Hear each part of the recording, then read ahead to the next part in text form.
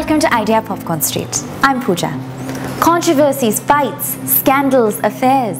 Let's take a look at all that kept Bollywood buzzing this week in our headlines. Parineeti Chopra's song Maana Ke Hum Yaar Nahin from her upcoming film Meri Pyaari Bindu marks her singing debut. Soulful and melodious, she has sung the track just perfect. On being asked about the song in an interview, the actress said, It was a nerve wracking experience. The actress who has already stolen hearts first with her lovely smile, her acting, and then with her recently glammed up avatar has given us another reason to be mind blown with this number. Directed by Akshay Roy, Meri Pyaari Bindu releases on 12th May.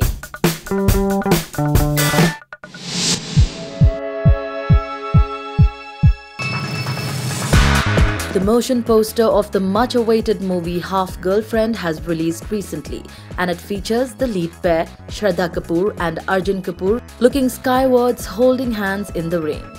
They are portrayed as more than friends but less than a couple as the tagline of the film also suggests the name Dost Se Zyada Girlfriend Se Kam. Speaking about the movie, director Mohit Suri said, a love that may be somewhere in between, but a love that is unconditional. It's a take on this unexplored aspect of relationships. The film is set to release on 19th May.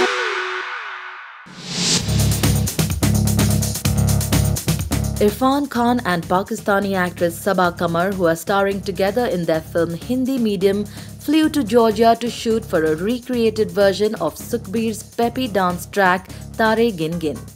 The song will be used as a promotional track for the film. A source present on the sets revealed.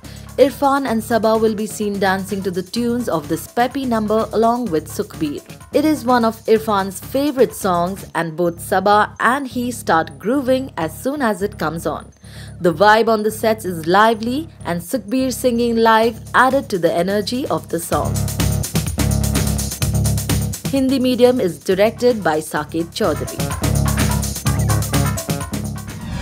Share your thoughts with us by commenting below. And for more updates on Bollywood, keep visiting Idea Popcorn Street.